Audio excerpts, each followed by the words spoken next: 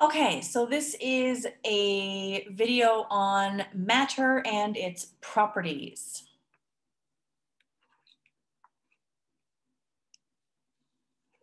So I've already talked in a previous video um, for biology about matter. Everything um, is made of matter and matter has volume and mass. Volume is the amount of space an object occupies and mass is how much matter is in an object.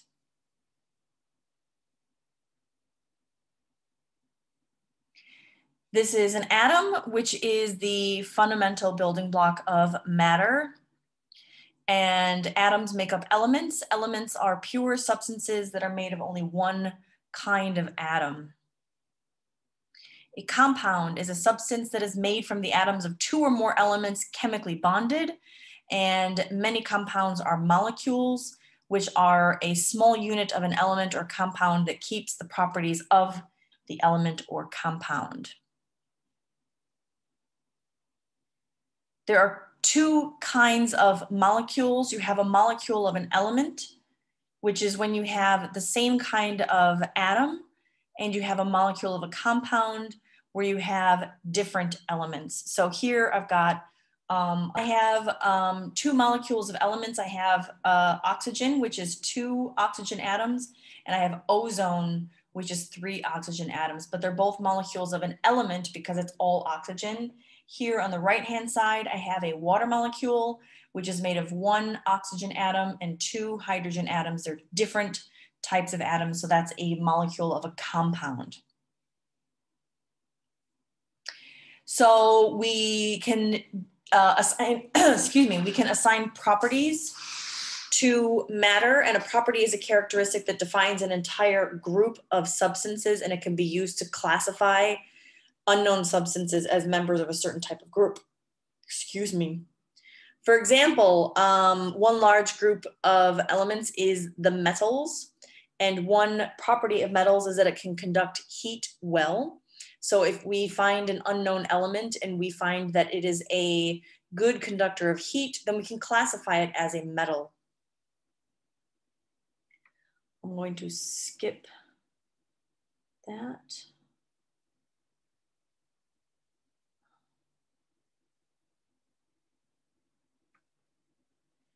Okay, so we're going to have two different kinds of properties. We have physical properties and chemical properties.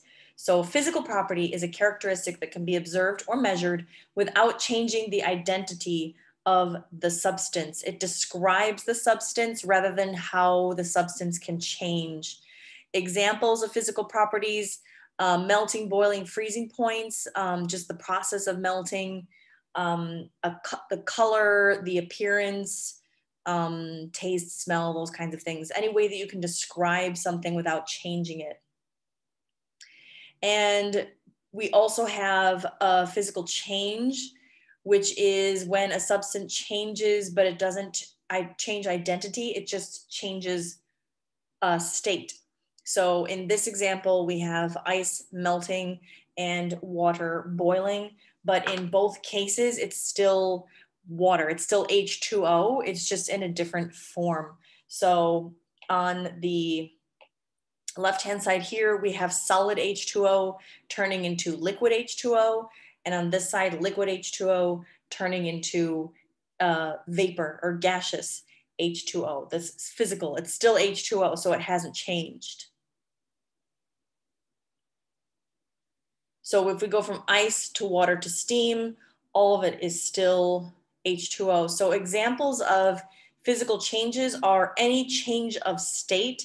So we have evaporation, melting, freezing, sublimation, which is changing from a solid straight into a gas. You skip melting, you skip the liquid stage, you go straight from solid to gas. Anytime you order ice cream from Food Panda, um, if you order, I don't know if, I don't think Swensen's does it, but Dairy Queen definitely, they give you these little packages of um, dry ice which is solid carbon dioxide. And if you throw that out into the sun, you'll see that it just turns straight into gas. That is sublimation. Now we know that there are three states of matter, solid, liquid, and gas. So I just wanna go quickly through the properties of solids. This all should be review. You should have learned all of this somewhere in grade seven to nine. Solids all have a fixed volume and a fixed shape. The atoms are held in a rigid structure. They don't move around, they just vibrate. Liquids have a fixed volume, but they do not have a fixed shape because the atoms are not held as uh, tightly together or as strongly in a solid. So the atoms can slip past each other like a bag of marbles. And that gives liquids the ability to flow, which you see in the animation up in the top right corner.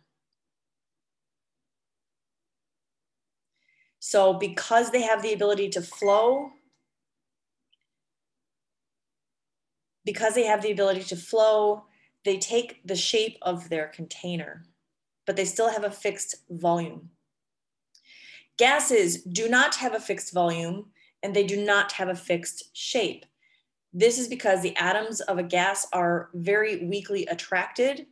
They also move quickly and randomly, so they fill any container. So that's why they don't have a fixed shape. You can see that cloud of smoke, which just eventually dissipates in the air. There's no fixed shape, no fixed volume. There is one more state of matter called plasma, and that makes up most of the universe. It is not the same thing as your plasma TV. That's not the same plasma at all. But real plasma is when you have gas atoms that have so much energy that they basically the electrons get ripped off of the atom if you think about the three states of matter, how you get from one to the next, how do you turn a solid into a liquid? What do you need?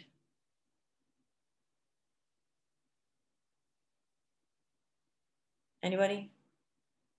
Hello? Just kidding. You need heat. I was wondering maybe if some of you thought I froze for a minute. Okay, uh, what you need to change a solid into a liquid is heat. What do you need to change a liquid into a gas? You need heat. So to change a gas into plasma, you need huh, heat. Same thing. What the heck? I really can't stand this. Okay, so now we go to chemical properties and chemical changes. Whenever you see the word chemical whether it relates to a property or to a change, the big clue is that the substance is completely different at the end of the process. You are either describing how a substance turns into something else, or you're describing the process of turning into something completely different. So, for an example, the ability of charcoal to burn in air. Now, a clue word here is burn burning always is a chemical change. So the ability of charcoal to burn in air is the property. You're describing how charcoal changes. When you look at charcoal before it's burnt, it's a black solid. And after it's burned, it's ash. It's not the same thing at all anymore. So, other examples of chemical change, the or a chemical property, the ability of iron to rust. Rusting is a chemical change. Also, the ability of silver to tarnish. If you have anything silver in your house, like um, silver bowls or silver spoons, silverware, most silverware that we eat with now is not made from real silver, it's sterling silver. So it's been chemically treated so that it doesn't do this, what you see in the picture. That's called tarnishing. Okay, and chemical change, like I said, the identities of the substances change and new substances are formed. So for example, if I have um, an equation like this, everything that's on the left-hand side of that arrow, those are reactants. Those are the things that are reacting together and everything that's on the right hand side, we call those the products. So together, this is called a chemical equation. Ooh, I haven't written in so long. That's a Q anyway, equation, a chemical equation. This happens to be a word equation because you see the names of the substances written out instead of in their um, chemical formula. The reactants are the substances that react. That's why they're called reactants. And the products are the substances that are formed or produced. They're the product. So for example, carbon plus oxygen yields, which means forms, carbon dioxide. And again, here is a nice word chemical equation. Carbon plus oxygen yields carbon dioxide. So how do we know whether or not a chemical change has happened? There's different pieces of evidence that we can gather to help support the idea that something has happened. Now, in science, science is a process. Science is a process that you use in order to gather evidence to support an idea or a, or a hypothesis. The more evidence that you gather that supports your hypothesis, your hypothesis can turn into a model or a theory. And very rarely in science do we actually have laws. There's a handful of laws that we talk about because a law is an absolute truth, like the law of gravity. Okay, very few things in science are laws because there is a huge, um, what do you call it? There's a very, very high bar that is established in order for us to say that something is absolutely, unequivocally 100% truth. That's because science is an ongoing process. You think about the things that we thought were true 150 or 200 years ago. I was just doing um, a biology video for grade 12 because they're going to study evolution and things like that. And 200 years ago, we were arguing about whether or not life comes from life or whether there was a literally, they called it a vital life force in the air that just turned non living things into living things. Not kidding. Um, I don't even really want to talk about flat earth because apparently especially in my home country of America, there's just a crap ton of morons that for some reason think the last 500 years of science doesn't matter and we're actually on a flat earth. Just, just, ugh, don't even get me started. Anyway, evidence is the point of this slide. So in picture A, we see acetic acid or um, the main ingredient in vinegar, what makes it sour you mix it with sodium hydrogen carbonate, which is also called baking soda, you have bubbles are created. I'm sure if when you were a kid and you did a science project of like a volcano, you mix these two things together. So you should have seen it already. If not, go ahead and try it. You can do it in your kitchen. You probably have both vinegar and baking soda in your kitchen, mix them together, it creates bubbles. So bubbles are one piece of evidence that can help support an idea that a chemical change has occurred bubbles alone are not necessarily enough evidence to be completely convincing that um, that a chemical change has occurred. But like I said, it's more about building up a big um, a big case or building up lots of evidence to support the the the, the idea, the hypothesis. Okay, in picture B, when solutions of sodium sulfide and cadmium nitrate are mixed, cadmium sulfide or a solid precipitate forms.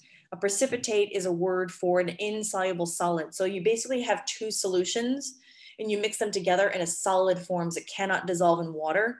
So um, we can actually do this if I ever get to see you guys in person again. Um, this is something that we will do in the lab. It's pretty, pretty cool. This is a very, very good piece of evidence to support the idea of a chemical change. Like I said, bubbles by themselves, meh, it's okay precipitation or precipitate being formed, really big convincing argument. Part C, when aluminum, or aluminium, but this is an American book, and when aluminum reacts with iron 3 oxide in a clay pot, energy is released as heat and light. If you see explosions, fire, sparks, that's a really good indication of a chemical change. And finally, part D, when phenolphthalein is added to ammonia dissolved in water, the color changes from color from colorless to pink. This is probably the least convincing argument for uh, a chemical change occurring is color change because if I say I take green food dye and I add it to a glass of water and you're like, see, see, color change, color change, color change. Nah, that's not very convincing. Um, so I wouldn't just go with color change as like an absolute proof that a chemical change has occurred. So comparing chemical and physical properties. Okay, I'm gonna start on the bottom left. We have, actually, no, no, no. I'm gonna start with the top right because the bottom left is the product. On the right-hand side, those are the reactants. Remember when I talked about reactants and products? So oxygen, we're going to react oxygen and mercury and we're going to form mercury 2 oxide. But just going through this, comparing chemical and physical properties. For oxygen, physical property, colorless, odorless gas, soluble in water. So colorless and odorless is the color and the smell. Doesn't change the fact that it's oxygen. Soluble in water, soluble just means it's able to dissolve. So if oxygen dissolves in water, it's still oxygen, it's just now inside water. So those are all physical changes. They're not changing the, the identity of the substance. Chemical property supports combustion. Excuse me. Combustion means burning. Reacts with many metals. That word react, ding, ding, ding, chemical. For mercury, physical properties, again, we have color, the state that it's in. Um, it says in the solid state, it's ductile and malleable. I'll talk about those later. Cut with a knife. All of those things don't change the fact that it's still mercury. But chemical properties, forms alloys with most metals except iron. An alloy is a mixture of two different metals combines readily with sulfur at normal com combines readily with sulfur at normal temperatures, reacts, that's that react word again, um, oxidizes. Oxidizing is another uh, chemical change. The silver tarnishing that I mentioned in a previous slide, another word for tarnishing is oxidizing. And I'll leave the last one. Um, but that just gives you an idea of the difference between physical and chemical changes.